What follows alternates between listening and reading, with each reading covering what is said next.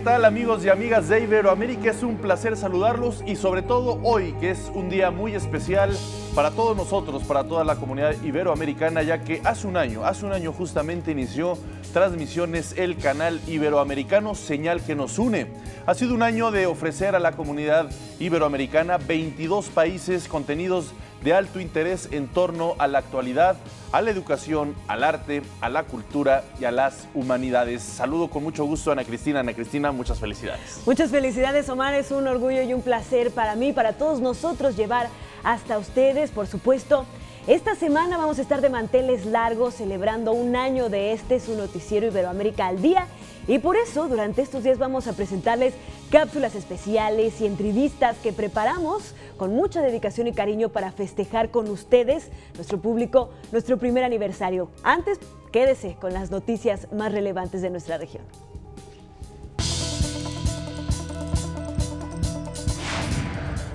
El canal iberoamericano está de fiesta, cumple su primer año de transmisiones. Cuba y la Unión Europea firman un acuerdo histórico para crear un diálogo político y de cooperación. El presidente de Colombia, Juan Manuel Santos, recibió el Premio Nobel de la Paz. Antonio Guterres es investido como secretario general de las Naciones Unidas. Y en los deportes comienza la participación de los equipos iberoamericanos en el Mundial de Clubes en Japón. Este es su informativo, le tenemos las noticias al día. Luego de 20 años de distanciamiento, Cuba y la Unión Europea firmaron un acuerdo bilateral que normaliza sus relaciones y fija por primera vez un marco de diálogo político y de cooperación entre ambos territorios. El acuerdo de diálogo político y cooperación entre Cuba la Unión Europea y sus Estados miembros que ahora firmaremos seguramente contribuirá a enriquecer una relación histórica y culturalmente intensa y a desarrollar en mayor medida los vínculos políticos, culturales, comerciales, financieros, científicos, académicos, deportivos y de cooperación. Tanto la Unión Europea como Cuba también manifestaron que la llegada de Donald Trump a la presidencia de Estados Unidos no afectará de ninguna manera el relanzamiento de sus relaciones bilaterales. El presidente de Colombia, Juan Manuel Santos, recibió ya el Premio Nobel de la Paz 2016. Esto sucedió en Oslo, Noruega, y lo recibió, sabe usted bien, por su contribución a lograr con un acuerdo con las guerrillas de las FARC para poner fin a más de 50 años de conflicto armado en su país. Esta noticia llegó como un regalo del cielo. En un momento en que nuestro barco parecía a la deriva, el premio Nobel fue el viento de popa que nos impulsó para llegar a nuestro destino, el puerto de la paz. Gracias, muchas gracias. Durante este su discurso, el mandatario colombiano dedicó el galardón a las víctimas del conflicto e hizo un llamado a la comunidad internacional a seguir luchando contra el narcotráfico. A través de un decreto, el presidente de Venezuela, Nicolás Maduro, anunció la salida de circulación de los billetes de 100 bolívares, los cuales serán sustituidos por monedas de la misma denominación. Esta medida, dijo el mandatario, busca que estos billetes ya no puedan ser utilizados para imprimir dólares falsos sobre ellos, práctica frecuente en ciudades fronterizas con Colombia. El ex primer ministro de Portugal, Antonio Guterres, juramentó hoy ante la Asamblea General de la, Organización de las Naciones Unidas como secretario general por los próximos cinco años y asumirá el cargo a partir del primero de enero de 2017. En su discurso de investidura, Guterres dijo que la ONU debe reconstruir la relación entre la población y sus líderes. Previo a la protesta de Guterres, los 193 Estados miembros de la ONU hicieron un amplio reconocimiento al trabajo del secretario general saliente Ban Ki-moon durante los 10 años que encabezó el organismo. El presidente de Ecuador, Rafael Correa, recibió este lunes la Orden Iberoamericana de la Justicia en reconocimiento a los avances que ha tenido su país en materia de justicia y derechos humanos. Este evento se realizó en el marco de la conmemoración de la Declaración Universal de los Derechos Humanos que se aprobó y que aprobó la Organización de las Naciones Unidas en 1948. Y precisamente en estos momentos, aquí en México se realiza un homenaje póstumo al que fuera el primer secretario de Cultura del país, Rafael Tobari de Teresa, quien falleció la madrugada del pasado sábado. La ceremonia la encabeza el presidente de México, Enrique Peña Nieto, en el Centro Nacional de las Artes y asisten altos miembros del gobierno y representantes de todos los ámbitos culturales y educativos del país.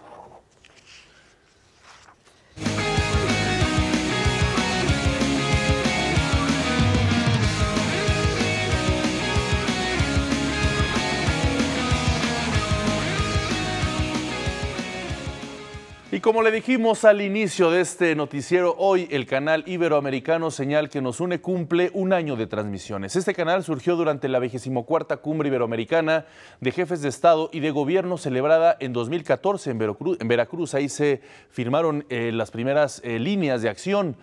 Eh, eso fue pasó en México y desde entonces se ha consolidado como el primer canal público de televisión de la región que fomenta la educación, la cultura, la innovación y la cohesión social. Sin duda, este medio de comunicación es un gran logro de la cooperación de los gobiernos y las instituciones de los 22 países que constituyen nuestra región. En el marco de estos festejos le queremos presentar la siguiente cápsula. Vamos a verla.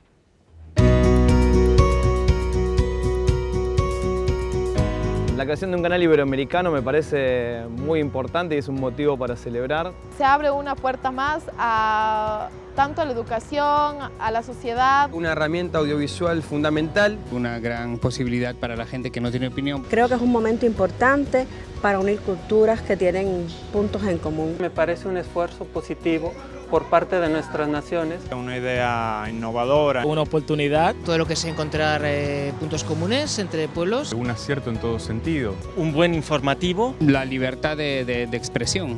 Un canal libre en que cada país pueda aportar con lo que quiera en sus contenidos. La formación en valores. Creativo. Un canal no, no como los que estamos acostumbrados por ahí a ver. Un poco más divertido, no los típicos señores vestidos de traje que lo hacen un poco aburrido.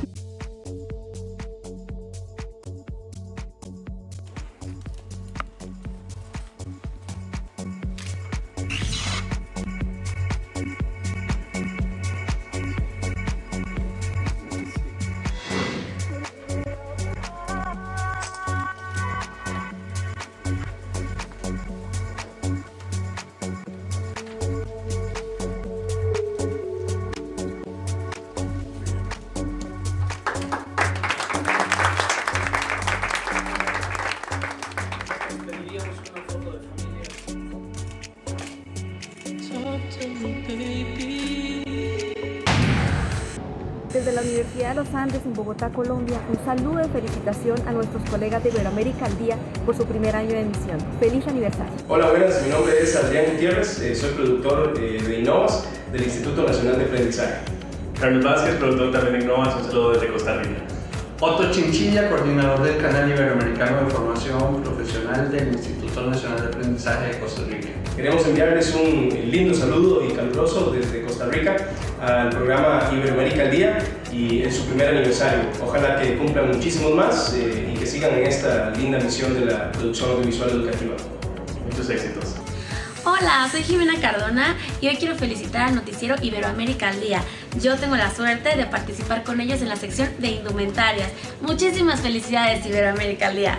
Hola, ¿qué tal? Los saluda Julio Wright, corresponsal de Notimex en Santiago de Chile. Un gran saludo, un gran abrazo en este primer año de Iberoamérica al Día, eh, con todo el gusto de haber colaborado en este año con ustedes desde acá, desde este caluroso Santiago de Chile. Un gran abrazo, que sigan cumpliendo muchos años más y estamos, por supuesto, dispuestos a ayudarlos en todo lo que ustedes quieran desde acá, de esta calurosa Santiago de Chile. Os agradecemos muchísimo a todos nuestros colaboradores y personajes con quienes tenemos la fortuna de compartir este proyecto por sus calurosos mensajes de felicitación. Y bueno, Omar, seguramente estarás de acuerdo conmigo, una figura absolutamente clave y fundamental para la creación y consolidación de este canal es la secretaria general iberoamericana, Rebena Greenspan. Y con motivo de este primer aniversario, pues les queremos presentar una conversación que sostuvimos con ella. Bueno, como dice nuestro pueblo, hablando se entiende la gente. Y nosotros lo que añadimos es que hablando se entiende y se conoce la gente. Y yo creo que eso es lo que nos ha aportado también el noticiero Iberoamérica al día. Porque Iberoamérica solo se concibe a partir de la comunicación, que transmite los valores que nos unen y que nos distinguen como región. Eh, nos ayuda a ilustrar y tener presente la diversidad cultural de Iberoamérica. Nosotros hemos dicho precisamente que estamos unidos en la diversidad, por eso también el nombre del canal iberoamericano, donde tenemos Iberoamérica al día, señal que nos une. Estamos unidos en nuestra diversidad. Bueno, haciendo que los contenidos nos reflejen a todos, eh, que tengamos en este espacio la posibilidad de integrar muchas voces. Podemos, por eso hemos insistido tanto con los países para que nos ayuden en los contenidos que tenemos que eh, eh, eh, comunicar, ¿no? Y porque hemos dicho una cosa muy, muy importante realmente, y es el hecho de que una de las manifestaciones de la discriminación es la invisibilidad del aporte de los distintos colectivos y de las distintas voces a la construcción de la sociedad terminar con esa invisibilidad, darle un espacio a todas esas voces, es precisamente lo que buscamos, porque solo así estaremos hablando realmente de inclusión social, rescatando esas narrativas y dándoles visibilidad. Bueno, solo podemos hablar con los jóvenes haciendo un uso estratégico de los mecanismos y de los espacios que ellos usan para comunicarse. Si nos comunicamos con ellos eh, eh, a través de los instrumentos que ellos no ven o de los canales de comunicación que ellos no ven, pues no vamos a poder tener un espacio común eh, con la juventud de hoy. Un dato interesante que leía el otro día en un estudio es que los televidentes de los noticieros en Europa tenían una edad promedio mayor a 60 años. Bueno, no es que los jóvenes no consuman información o, no busquen información, pero la buscan por otros medios. Por eso es tan importante que eh, podamos usar los canales que ellos usan precisamente para poder eh, tener un espacio común, una comunicación y contactarnos con los jóvenes de hoy en día.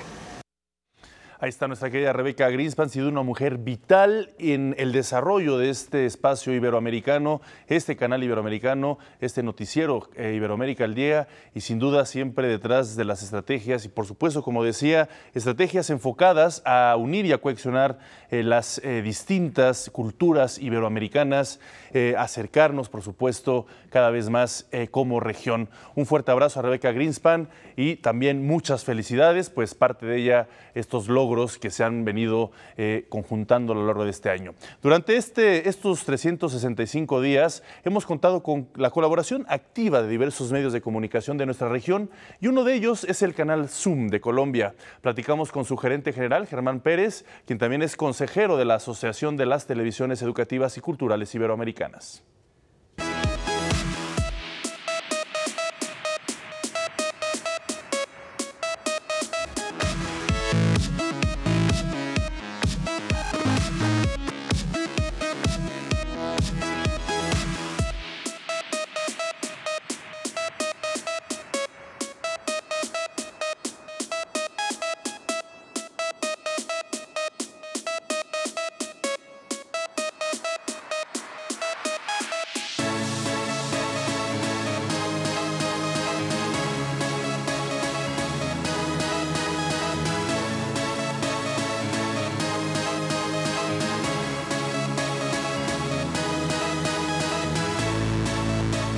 El canal Zoom es uno de los aliados principales del canal iberoamericano y nosotros eh, siempre nos complacemos en estar eh, difundiendo producciones eh, que ustedes nos, otorgan, pero tengo entendido, no tengo entendido, sé que son un canal de universidades. Cuéntanos cómo se confecciona, qué características, cuáles son sus objetivos. Bueno, el, canal universitario nació como una iniciativa desde la desde la educación superior, algunos docentes eh, que tenemos que ver con las áreas de la producción audiovisual y los centros de medios en las universidades, siempre tuvimos la inquietud de contar con un canal en el cual se pudiera dar cuenta de la actividad eh, de la educación superior en todos sus ámbitos, eh, llámese la cultura, la, tecnología, la investigación, la ciencia, y, y lo social. Y este es un canal totalmente incluyente, si bien es una corporación eh, sin ánimo de lucro, Claro. es una corporación que eh, em, agrupa instituciones de educación públicas y privadas de todo el país en una perfecta concordancia, en una perfecta convivencia.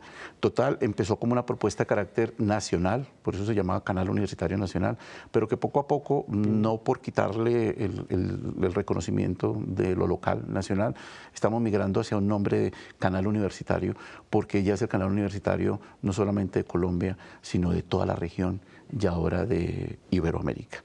A ustedes desde su trinchera, ¿cómo han visto este primer año? Pues mira, eh, es un balance mm, positivo a todas luces. Eh, Canal Sun es un, eh, ahora eh, trabaja de la mano del canal iberoamericano. De hecho, es nuestra costumbre eh, producir cualquier eh, tipo de material o todo tipo de material con el doble, con la doble mirada y con la doble ventana del canal iberoamericano. Ya nos toca es ajustar si tenemos un cubo para cada uno o más bien un cubo compartido. Pero me parece que ese cubo compartido es más que, que la sola aparición de dos logos. Es, es, es mostrar la perfecta conjunción entonces, desde todo punto de vista, para reconocernos como latinoamericanos, para analizarnos frente a los contenidos que producen ustedes, los contenidos que producimos nosotros, aprender de la experiencia que tiene México, que ha sido pionera en la formación, que ha sido pionera en el desarrollo tecnológico y de los contenidos de la televisión, pues para nosotros es una, es una ganancia eh, suma y queremos ir de la mano precisamente de esos desarrollos. Y mm, son 365 días que se pasaron eh, en nada, es como si hubiera sido ayer, cuando se hizo esa primera, esa primera emisión en el marco de, de la reunión de la cumbre de los países de Latinoamérica, donde se envió esa señal de prueba, donde nosotros Sí, sí. eh, aparecimos también eh, eh, muy tímidamente, pero encontramos que es nuestro espacio eh, por antonomasia para desarrollarnos. Hemos eh, ido ejerciendo un protagonismo donde queremos que esta señal y que eh, este tipo de trabajo ya no solamente llegue a Iberoamérica, sino a todo el mundo. Entonces ya estamos eh, tocando eh, pares donde mm, muy seguramente en el tiempo vamos a requerir de otros lenguajes, vamos a requerir de otros idiomas para no ir más lejos, muy cerquita, Brasil, entonces, con quienes tenemos una excelente relación con el canal iberoamericano, eh, la Asociación Brasileña de Televisión Universitaria, que agrupa varias universidades, ya, como se dice coloquialmente en nuestro país, está tocando puertas diciendo queremos estar más en el canal iberoamericano. Entonces, muy pronto vamos a tener que empezar a ofrecer una señal en varios eh, idiomas, que eso es como parte del rigor de la globalidad. Y pues bueno, los, los otros idiomas eh, cerquitas a, a nosotros, como el mismo inglés y otra serie de países. China, en ese sentido, eh, ha visto con buenos ojos este tipo de iniciativas eh, para, para alcanzar sus metas en, en la región. Claro.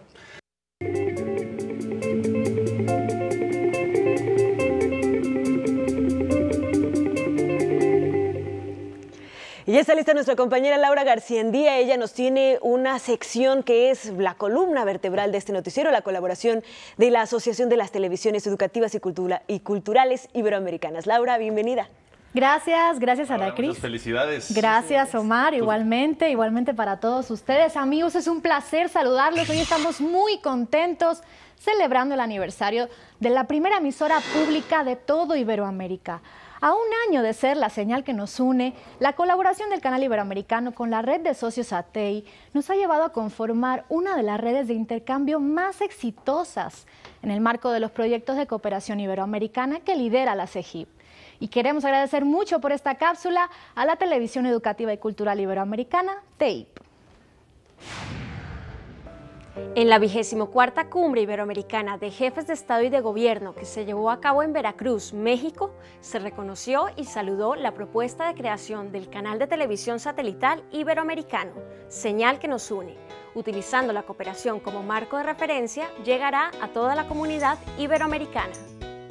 Yo espero que sea muy exitoso, que efectivamente sea un canal eh, eh, que permita efectivamente llegar a muchos de los ciudadanos iberoamericanos y que ellos sientan que a través de él también pueden expresar en su diversidad pues sus opiniones y sus creaciones a través del canal. El canal es un importante logro eh, de la pasada cumbre iberoamericana que se, que se realizó en Veracruz, en México.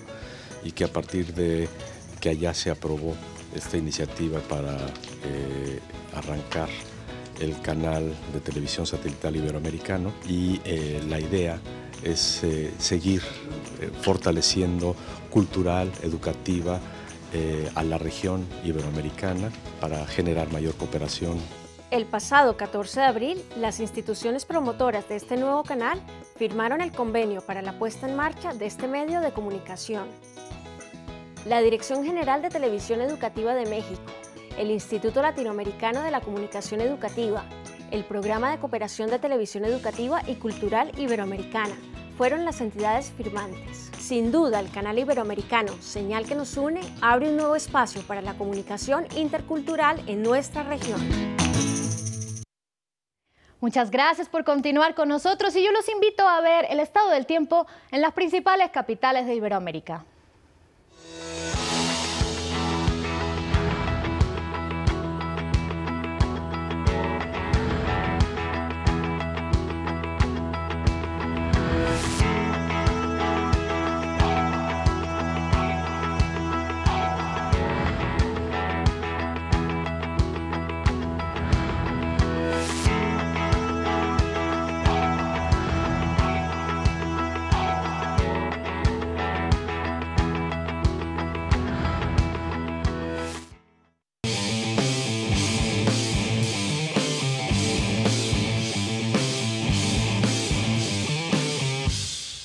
Y otro personaje fundamental en este año es Jorge Rubio, quien siempre nos ha tenido lo mejor de los deportes iberoamericanos y hoy no es la excepción. Celebramos obviamente esta sección. Muy buenos días, ¿cómo estás, Jorge? ¿Qué tal, Omar? Buenas tardes, buenas noches, Ana Cristina. Qué gusto saludarlos. Muchas felicidades a ustedes también, amigos de Iberoamérica, el canal iberoamericano. Pues sí, todos estamos de fiesta con este primer año de vida y por supuesto les seguiremos dando toda la información deportiva mientras eh, pues estemos al frente de este espacio deportivo. Y hay que destacar que hoy también es un día de fiesta para el portugués Cristiano Ronaldo porque la revista France Football anunció que ha conseguido su cuarto balón de oro, tan solo uno por debajo de Lionel Messi. Vamos a otra información porque inició la participación del primer equipo iberoamericano dentro del Mundial de Clubes que se desarrolla en Osaka, Japón. El América de México se enfrentó al Jeonbuk Hyundai de Corea del Sur en el Estadio Suita. Veamos las anotaciones. Aquí está el primero al 23, Kim Bo-kyung hacía el 1 por 0. Al 58, Silvio Romero iba a llegar con el gol de Michael Arroyo y iba a empatar el marcador a 1 por parte de las Águilas del América mientras seguíamos viendo los festejos del equipo coreano. Posteriormente otra vez Silvio Romero hacía la anotación, el 2 por 1 gana el equipo mexicano y estas son las reacciones después del partido. Jugadores nuevamente vuelven a demostrar carácter, mentalidad, corazón y por eso sacaron adelante este partido, para dejar atrás lo que había pasado un año atrás. Tuvieron la posibilidad nuevamente de venir y hoy de demostrar que el fútbol mexicano todavía es competitivo. Y ahora las Águilas del América se enfrentarán al Real Madrid, equipo español que ya está en Japón después de un viaje de 13 horas de vuelo. Llegaron a Tokio, posteriormente se dirigieron a Yokohama, en donde chocarán ante los mexicanos en semifinales el próximo jueves 15 de diciembre a las 4.30 de la mañana, tiempo de México, y a las 11.30 del día, tiempo de Madrid. Cientos de aficionados se dieron cita para ver a las figuras merengues, pero por cuestiones de seguridad, en el primer aeropuerto que tocaron, no pudieron saludar a sus ídolos. Y quien también ya llegó a Japón es el equipo colombiano. El Atlético Nacional eh, ya tienen rival para este mundialito después de enfrentarse en la segunda ronda y con victoria del Kashima Antlers de Japón 2 a 0 ante el Mamelodi Sundowns de Sudáfrica. Los locales serán quienes enfrenten al cuadro verdolaga el próximo miércoles 14 de diciembre a las 5.30 de la mañana, tiempo de Colombia. Y se realizó el sorteo de, la, de los cuartos de final, de, la, de los octavos de final, perdón, de la UEFA Champions League en Nyon, Suiza. Seis equipos iberoamericanos eh, lograron colar esa instancia, cuatro españoles y dos portugueses. Veamos cuáles son los enfrentamientos. Así se van a jugar los equipos iberoamericanos. Barcelona contra el Paris Saint-Germain. La ida el 14 de febrero, vuelta el 8 de marzo. Borussia Dortmund en contra del Benfica de Portugal. Otros partidos, Napoli en contra del Real Madrid. La ida el 15 de febrero. La vuelta, ya lo ve usted en pantalla, el día 7 de marzo. Atlético de Madrid contra el Bayern Leverkusen. La ida el 21 de febrero, vuelta el 15 de marzo. Y el equipo de Juventus se enfrenta al Porto y Leicester en contra del Sevilla. También conocemos ya los cruces de los 16avos de final de la Europa League. Solamente tres equipos iberoamericanos, Athletic de Bilbao contra el Apoel, Villarreal contra la Roma y el Celta de Vigo en contra del Shakhtar Donetsk. Uno de los futbolistas sobrevivientes del avionazo del equipo de fútbol brasileño chapecoense, Elio Neto, despertó del coma. Lamentablemente su memoria fue afectada y al momento no recuerda el accidente aéreo. Lo primero que preguntó el Carioca cuando retomó el conocimiento fue preguntar el resultado de la final de la Copa Sudamericana que iban a disputar en Colombia ante el Atlético Nacional. Los médicos aún no pueden contarle lo que ocurrió para no causarle más daños a su salud física y emocional. Llegó a su fin el Campeonato Mundial Corto de Natación en Windsor, Canadá. Revisamos los resultados del último día de actividades en donde solo dos nadadores de la región lograron llegar a las finales. En la prueba de los 50 metros pecho, el brasileño Felipe Lima logró una marca de 25.98 segundos y se quedó con la medalla de bronce al finalizar por debajo de Peter Stevens y Cameron Van, respectivamente 2 y 1 en las posiciones. En los 100 metros mariposa, la carioca Daisne Díaz quedó en el último lugar de la final. Brasil fue el único país iberoamericano que se mostró en el medallero con tres medallas en total, una de oro, una de plata y otra de bronce, ubicándose en el lugar número 13 del medallero. Hasta aquí la información deportiva. Que tengan excelente inicio de semana. Buenas tardes, buenas noches y muchas felicidades al canal Iberoamericano. Regreso con ustedes, Omar Ana Cristina. Gracias, Jorge. Y vente para acá porque justamente estamos eh, celebrando y no podía faltar el pastel, un pastel del primer aniversario y por supuesto con todo el gran equipo que día a día está participando en este gran proyecto en el cual estamos muy honrados. Tenemos a mis espaldas redactores, productores, en fin, una serie de eh, un gran equipo que ha estado eh, por supuesto, siempre durante este año. Muchísimas gracias, muchísimas gracias. Y bueno, pues Ana Cris. Sí, esta es solo una probadita de las muchísimas personas que colaboran para que este informativo llegue hasta sus hogares. En el estudio también están eh, pues todo el equipo que maneja los controles y que por supuesto no pueden estar aquí. Y por supuesto a todos los países de Iberoamérica, ahí los tiene usted en pantalla. Esos son más de los colaboradores de Iberoamérica al día y por supuesto nuestros colaboradores corresponsales en varios países de toda nuestra región. Les queremos dar las gracias, felicitarlos e invitarlos a que compartan y se sumen a este esfuerzo de toda la región. Recuerden que estaremos durante estos días, de aquí al jueves, haciendo programas especiales con información justamente que forma parte de este año. Y bueno, Ana Cris, pues eh, vamos a apagar la vela, por favor. Todos, ¿Por qué no? Bueno, una, dos, tres. Se volvió a prender si quiere que... Listo, bueno, pues aquí está ahora el tradicional eh, partido del pastel.